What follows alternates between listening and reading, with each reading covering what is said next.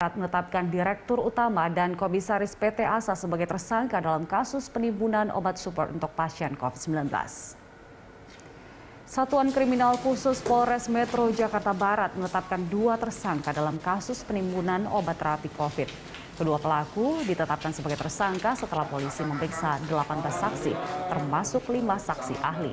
Kedua tersangka berinisial YP dan S merupakan petinggi dari PT ASA, yakni perusahaan yang bergerak di bidang distributor farmasi. Di PT ASA, kedua tersangka menjabat sebagai komisaris dan direktur utama. Rencananya polisi akan memanggil memeriksa kedua tersangka pada Rabu pekan depan. Ada juga apa tadi? Kita lakukan pemeriksaan, ya terhadap para saksi ya sejumlah 18 orang ya ya kemudian saksi ahli ya saksi ahli itu ada lima ya dari uh, Badan POM, dari Kementerian Kesehatan, dari Perlindungan Konsumen, ya, dari Perdagangan, ya, ya, dan ahli pidana, ya. Nah, sehingga kita tetapkan dua tersangka pada kasus ini, yaitu Direktur dan Komisaris dari PT ASA, ya.